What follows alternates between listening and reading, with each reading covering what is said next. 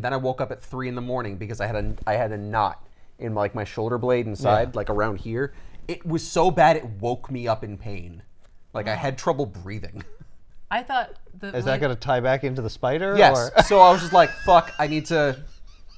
I woke up, I got the massage gun, I worked that out. Okay. And I was like, well, I'm awake, I might as well pee real quick.